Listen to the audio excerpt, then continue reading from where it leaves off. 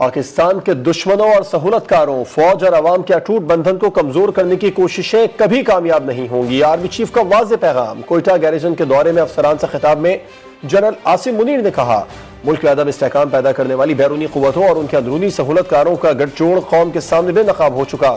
काबिल फखर अवाम ने मुल्क के तूल अर्ज़ में पाक फौज से यकजहती का इजहार करके दुश्मनों और उनके आलाकार बनने वालों को करारा जवाब दे दिया। ये रिपोर्ट देखिए।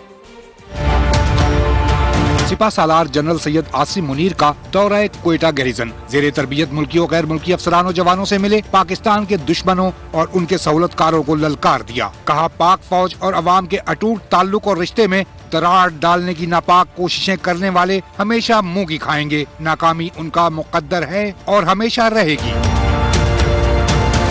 आईएसपीआर के मुताबिक अफसरान, जवानों और इलाका माहदीन ऐसी खिताब में आर्मी चीफ ने कहा, मुल्क में अदम इस्तेकाम पैदा करने की मजमूम ख्वाहिश रखने वाली बैरूनी कुतों और उनके मकामी सहूलतकारों का गठजोड़ अवाम के सामने बेनकाब हो चुका। मुल्क के तूलो अर्ज़ में अवाम ने पाक फौज ऐसी फ़कीदुल मिसाल इजहार यकजहती और वालेहाना मोहब्बत का इजहार करके उन तमाम मुल्क दुश्मनों को करारा और मुँह तोड़ जवाब दे दिया है। मुसल्ला अफवाज इस पर अपने काबिल फखर अवाम की हमेशा मकरूज रहेंगी। अवाम की गैर मुतजलजल हिमायत ही के बायस पाकिस्तान की मुसल्ला अफवाज दुनिया भर में मज़बूत तरीन है।